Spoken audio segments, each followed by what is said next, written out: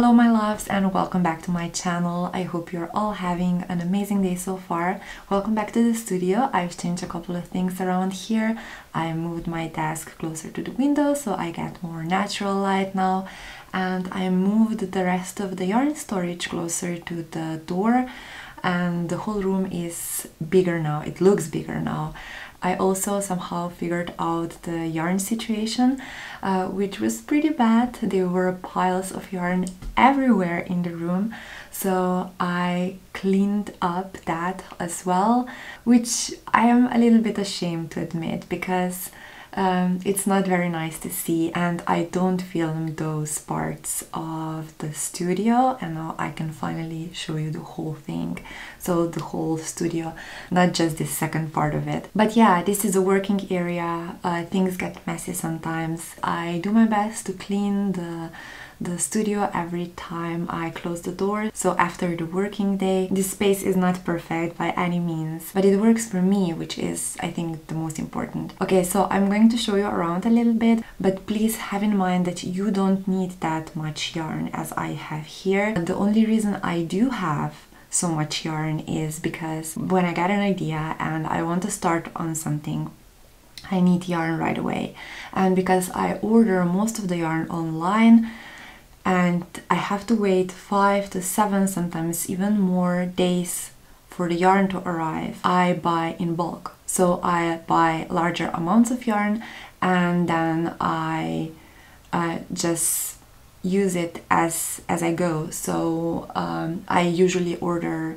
colors and um, type of fiber that I use most and that's what you will see so it's mostly cotton in colors I like but you don't of course you don't need that much yarn uh, at home of course it's nice to have yarn we all know that but you don't need it Welcome to the office. The first thing on the left when you walk in is a brand new addition to the studio. I've ordered these three shelf units from IKEA. I got rid of a couple of old ones and I replaced them with these new ones. This is where I store a portion of my yarn, a collection of my books, a sewing machine and some other bits and pieces, but mostly books and yarn. This is also where I keep this beautiful bag. It was made by my lovely grandmother. She made it herself and the fabric is very detailed and just beautiful. On the right side of the room when you walk in behind the door is another part of my yarn storage. If you watched any of my previous vlogs, you are probably familiar with this one. There is nothing new about it. We just moved it from one side of the room to another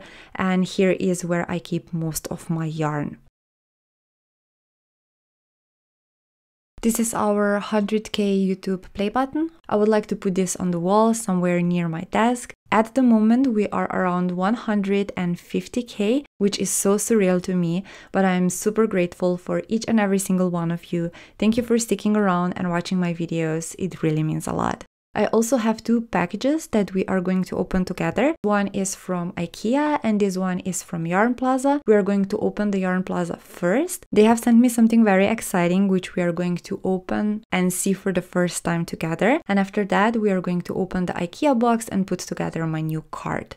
On the opposite side of the room again is a mirror. I use this mirror to see myself when I'm trying out new things, new crochet and knit projects. It's nice to know how they fit and if they need any additional changes. These are my blocking mats. They don't really belong here, but I was just using them as a camera stand. This is my box of finished and unfinished projects a small IKEA drawer and the pegboard where I keep my loom. Now this is the project that is currently on the loom. I have to say I'm not very happy with how it looks. I am a total beginner at weaving and it's very hard for me to envision how the final item will look. So things like this happen sometimes. I wanted to push myself to finish the project even though I don't like it that much, but that just discouraged me from weaving in general. So I think I will see what I can do with the fabric I have and potentially start a new project on Monday that would be really nice. And this is the whole office. So one more thing, I had a little accident a couple of weeks ago because there is no way I can hide it. I have to tell you that I had a little accident in the kitchen that was probably around three weeks ago. I'm not going to go into any details because I don't want to trigger anyone. I just want to let you know that um, I had an accident. It's getting better. It's here on my finger, and every time I will film, I will cover it so you won't be able to see it. Like I said, it's getting better every day, but this thing on my finger will stay here uh, for the next maybe month or even more so everything will look normal again but until then I will cover it and that's it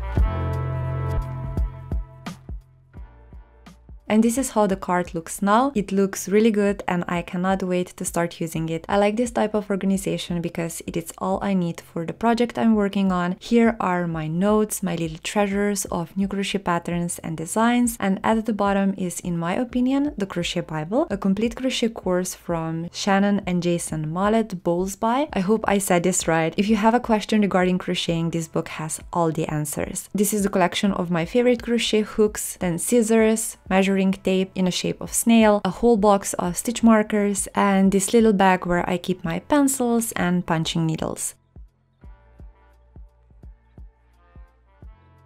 The middle part is reserved for projects I'm currently working on, but those will stay secret for now. And at the bottom is spaghetti yarn in a few different colors. I will use those in a future project, but not right now. This is just where they live at the moment until I find some additional time to rearrange the whole yarn storage. We will do that together probably at the end of this summer. And of course, this is a cane with the DK weight cotton yarn. This is an experiment project for me. I usually don't do lace, but I found this stitch on Pinterest and I needed to try it out. I think the stitch and the fabric is beautiful and this eventually will be shirt or just a top that I will hopefully share on my blog as a pattern.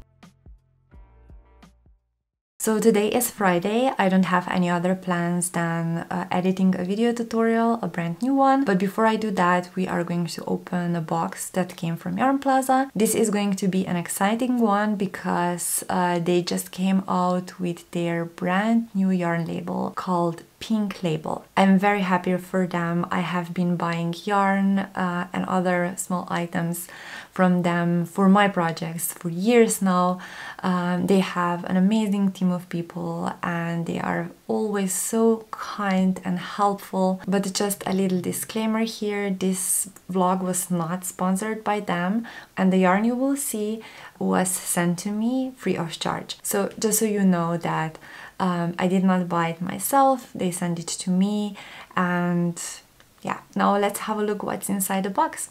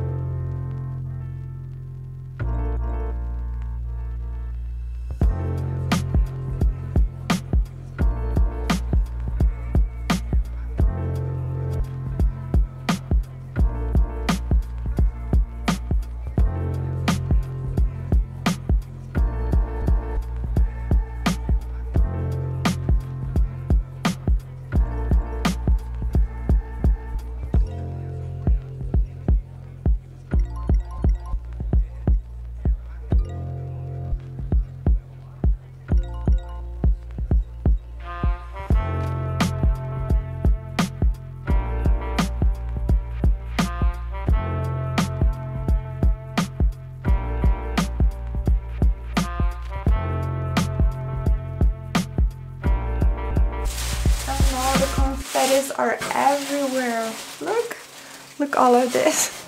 Okay guys, I don't know if you can see or not, but those little confettis are everywhere.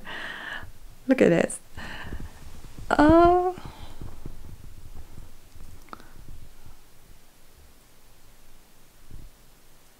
So hello from the future, I needed to start brand new vlog because if I would join all the footage from the second part of the May together, the vlog would be way too long. I would prefer to keep them 10 to 15 minutes max, just small updates what is new and what is going on in the office. So I will end this one here. Thank you so much for watching and keeping me company. Next week is going to be tutorial week. This means I have a new tutorial already ready and waiting to go live for you guys. It's going to be a tutorial for baby blanket, a very easy and beginner friendly one. So make sure you don't miss that. I also made a pattern and tutorial for crochet baby shoes that goes perfectly with that pattern and tutorial of course for baby blanket that I will post next week and the baby shoes tutorial will go live in two weeks so First is going to be crochet pattern for a blanket and then I'm going to post a new vlog and then crochet pattern for baby shoes. So both of them will be free patterns available on my blog and my YouTube channel. And of course, as always, for those who want to support my work or want additional sizes in the pattern, will be able to purchase a PDF pattern that will be available in my pattern shops on Etsy, Ravelry, Lovecrafts, and maybe,